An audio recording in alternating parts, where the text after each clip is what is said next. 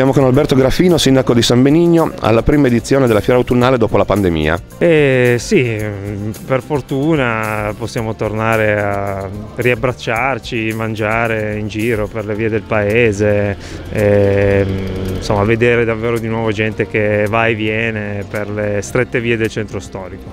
Eh, è stato adottato qualche accorgimento particolare per organizzare la manifestazione?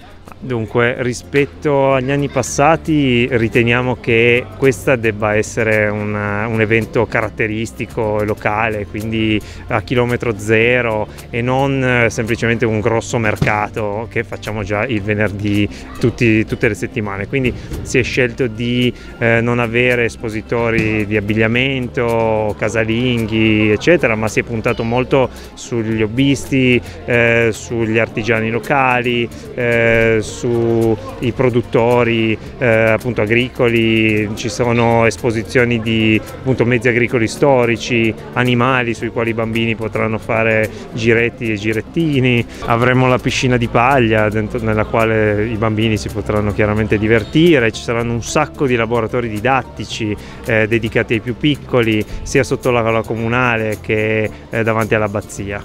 Per quanto concerne il programma, cosa riserva questa giornata?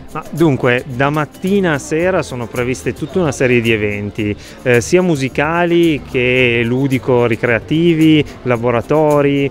Ehm, appunto, dalla mattina ci saranno sempre eh, diverse band che suoneranno musica di ogni genere, eh, dall'indie al metal, ehm, sia qua che sotto l'ala. Ovviamente non mancherà la General Vincent Marching Band, che eh, sono, sono, i padroni di casa ed è la vera e propria banda itinerante l'orgoglio di questo paese.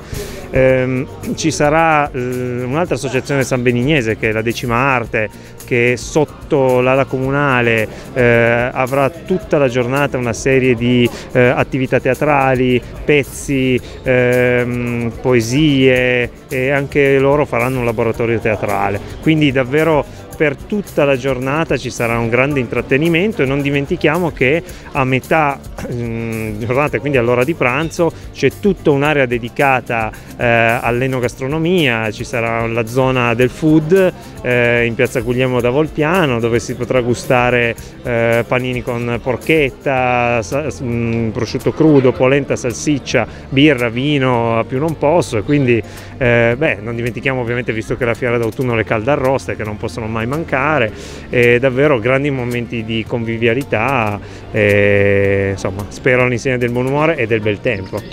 Maria Revole, Presidente della sezione commercianti. Com'è stato questo inizio di fiera? Ah, devo dire che stamattina avevamo un attimo di perplessità per il tempo, però dai, tutto sommato è andata bene, siamo contenti di, di come si sta svolgendo perché siamo riusciti a riempire sempre con il solito discorso di poco tempo a disposizione, ma siamo riusciti a ottenere quello che volevamo, una fiera un po' diversa e settorializzata. Ecco. Eh, la collaborazione con le sezioni e con gli enti funziona?